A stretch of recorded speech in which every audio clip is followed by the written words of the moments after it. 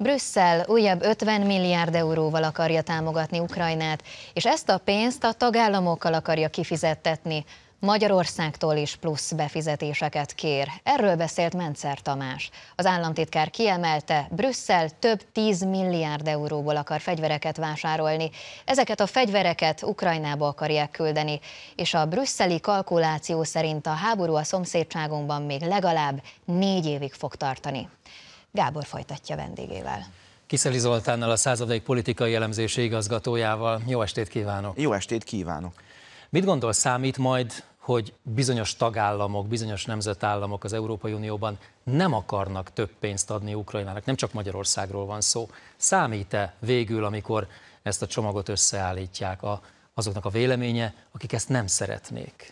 Ja, látjuk, hogy, a, hogy az európai társadalmakban, és mondhatjuk, hogy már az USA-ban is, vagy mondjuk az unión kívül lévő Angliában is már egy különbséget látunk, egy nagy távolságot látunk a lakosság többségi véleménye és a politikai elit, a kormányok véleménye között. Tehát míg a lakosság körében már megfordult a hangulat, és a többség már inkább a béketárgyalásokat támogatná, addig a kormányok, és itt játszik szerepet, hogy nagyon sok országban szivárvány koalíció például, pedig támogatják a háborút. Tehát van egy nagyon éles különbség a lakosság többségi véleménye és a legtöbb európai ország politikai elitjének vagy a kormányának az álláspontja között. Ők megszavaznák az újabb hadi kölcsönöket, hadi hiteleket, a lakosság többsége pedig már inkább szkeptikus és békét szeretne. De addig tudják ezt megtenni a politikusok, amíg valójában nincsenek reprezentatív felmérések, vagy nem vonják be a döntéshozatalba az úgynevezett választókat Európa szerte, nem?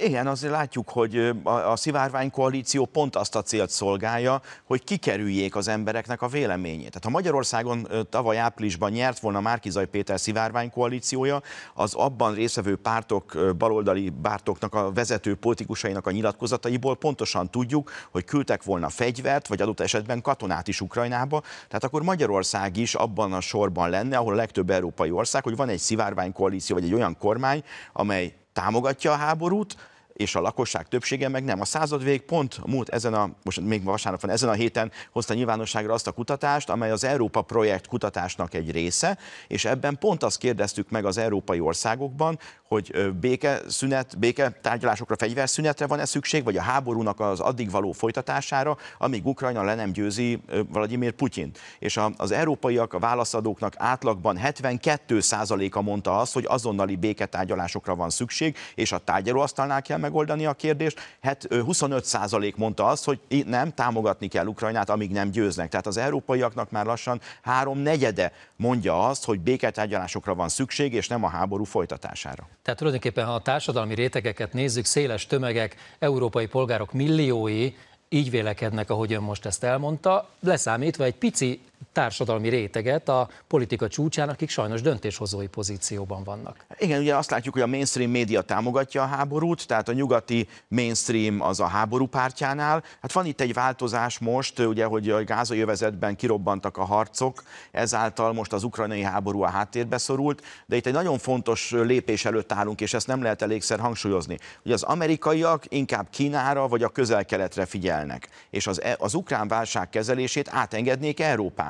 Tehát amikor arról beszél Ursula von der Leyen, hogy 50 milliárd euróra van szükség Ukrajna víz fölött tartására, a költségvetés finanszírozására, és 20 milliárd újabb euróra van szükség hadikölcsönre az, az európai békeeszköz keretében Ukrajna felfegyverzésére, vagy a háború finanszírozására, akkor ez azt jelenti, hogy arra is felkészülnek, hogy ha jövő novemberben az amerikai elnökválasztáson egy fordulat következik be, akkor az Európai Unió 2024 és 27 között, tehát valóban négy év évre is akár ebből a 70 milliárd euróból finanszírozni tudja az ukrajnai háborút, és hát ugye láttuk, hogy korábban két és fél milliárd eurót kértek lőszerre, vagy, vagy az európai békeeszköz feltőkésítésére, most már ez 20 milliárd euró, tehát azt látjuk, ha megvan a precedens, akkor könnyen lehet, hogy majd újabb hiteleket fognak kérni.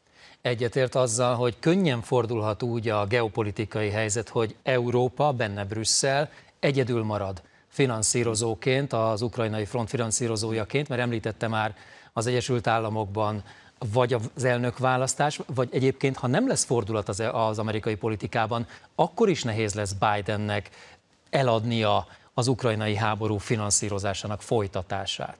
Igen, látunk egy árukapcsolási törekvést, úgy a Biden-féle demokraták, mind a brüsszeli eurokraták részéről össze akarják kötni Ukrajna és Izrael kérdését. Ugye ez Bidenéknek nem sikerült, amikor most a 45 napos átmeneti költségvetést elfogadta a republikánus többségű képviselőház, akkor az ukrajnai hitelek nem kerültek bele.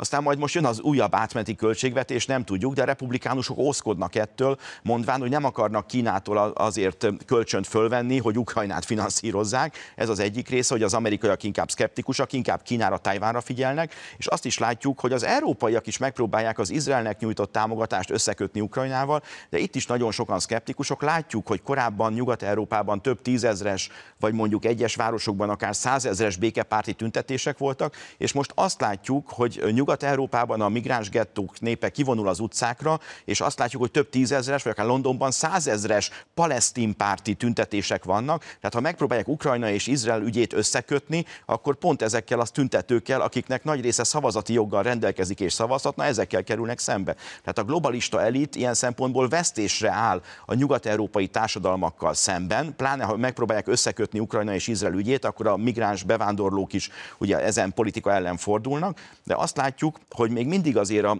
a, mainstream média manipulációival, illetve azzal, hogy a legtöbb országban szivárványkoalíciós vagy háborúpárti kormány van, ezzel az emberek, az európai emberek akaratával szemben is keresztül tudják vinni, erről beszélnek az európai politikusok, azt mondják, hogy például akkor majd 26 ország, vagy Szlovákia is beleszámít, 25 ország vesz fel majd egy háborús hitelt, és abból finanszírozza Ukrajnát. Hasonló vitákat láttunk a Covid idején De az ön által említett pillanatban, amikor a republikánus többség azt mondja, hogy ne kössük össze a két kérdést, akkor ugye az is elhangzik, hogy mert előtte a Fehérház legyen szíves mondja meg, hogy mi az Egyesült Államok célja Ukrajnában.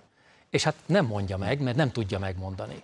Ez az egyik, hogy nincs egy világos politikai cél, a másik a korrupció kérdése. Ugye az ukrán kormányzat egy viszonylag korrupt kormányzat, és most látjuk azokat a törekvéseket a soros hálózathoz sorolt NGO-k részéről, hogy megpróbálják felpontozni Ukrajnát, hogy az uniós csatlakozáshoz egy kedvezőbb terepet nyissanak, de a korrupció kérdése is ott lebeg az Ukrajnának nyújtandó uniós és más támogatásoknál.